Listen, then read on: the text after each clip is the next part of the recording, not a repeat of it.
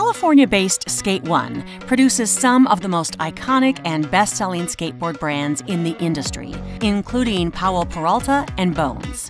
Their in house manufacturing of high quality components and accessories creates heavy dust and abrasive wood particulates. Many of their boards are built with laminated plies of maple that require extensive cutting, shaping, and sanding, which is already a good test for air filtration.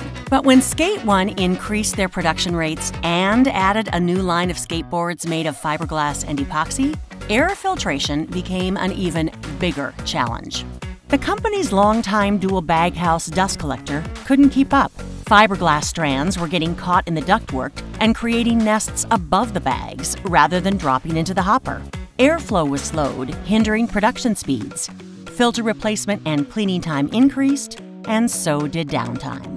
Skate One turned to Donaldson for help. The Donaldson team recommended the rugged pleat baghouse, a single collector with a centrifugal system that can handle abrasive materials, various particulate sizes, and a large production volume. It uses 44% fewer filters than traditional round baghouses, and with its shorter profile, the rugged pleat baghouse fit within the Skate One facility's height limitations. The rugged pleat baghouse's Super Sep inlet uses cyclonic spin to force wood dust, fiberglass strands, and other heavy solids down into the hopper. The pleated bags, which utilize Donaldson's UltraWeb spun bond media, are located above the air inlet and capture fine particulates. And the iCue Connected Filtration Service remotely monitors the system to make sure things keep running smoothly.